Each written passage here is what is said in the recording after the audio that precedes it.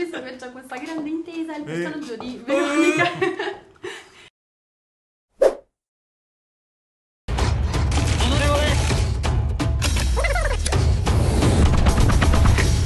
A me non me ne frega un cazzo di fare il ministro. Io li voglio decidere i ministri.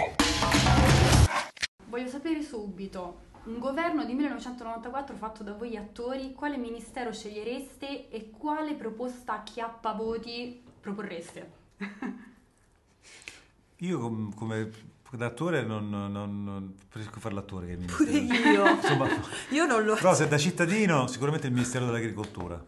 E io dell'ambiente. Mhm. Insieme possiamo fare grandi cose. Uniti anche nel governo fantasma. Sì, Perfetto. anzi Sì, potrebbe sì, essere sì. anche un modo per... eh, poi discutiamo della tua carica, però la mia sicuramente può essere all'altezza, posso essere all'altezza. Ma certo, braccia rubate tutta la vita. C'è questa grande intesa, il Eh. personaggio di Veronica.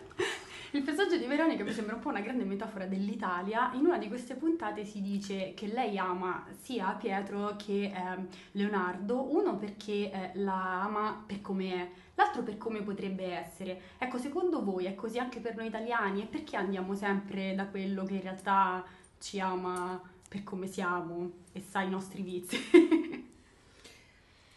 Perché devi fare meno fatica, secondo me, a mascherare e a creare una- un personaggio che non si... Però No, secondo me facciamo un po' spoiler con questa.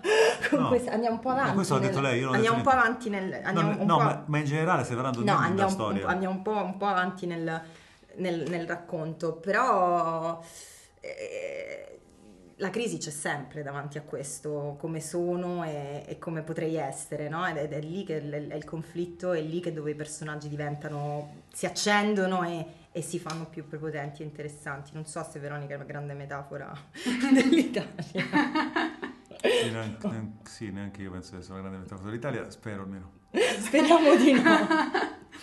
Parliamo allora del bene, tra virgolette, e del male. Vediamo che il bene qui deve lavorare il doppio per pareggiare i conti col male, perché vediamo che eh, Di Pietro e la sua squadra lavorano anche di notte. Secondo voi è così? Cioè il bene per riuscire a contrastare il male veramente ci deve mettere l'impegno o no?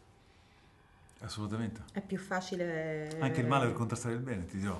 No, però è più facile, più, più automatico, diciamo, agire nel male per agire nel bene. Ci vuole un lavoro, ci vuole una, una costruzione, ci vuole molto impegno. Ci vuole molto più coraggio, Sì, diciamo. ci vuole più coraggio e più È più volontà. È più facile essere stronzi che, che non esserlo, insomma. E poi infine eh, noi vediamo qui un sacco di scelte politiche importanti, che cioè, eh, devono influenzare il futuro di un paese, sono prese su delle basi assurde, tipo dei fiori che appassiscono oppure delle rivalità in amore. Quindi come siamo messi secondo voi? È veramente così? In mano a chi stiamo?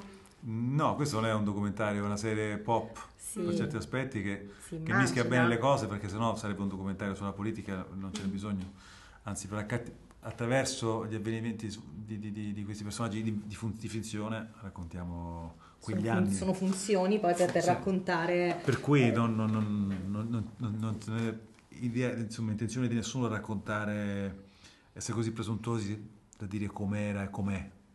Questa è una, una fiction, una, una serie. di è una- finzione, quindi di immaginare poi no, il, il retroscena, poter eh, come in un romanzo raccontare quello che, che potrebbe essere stato. Ok, grazie mille. Grazie a te. Grazie. Il futuro è ancora tutto da scrivere.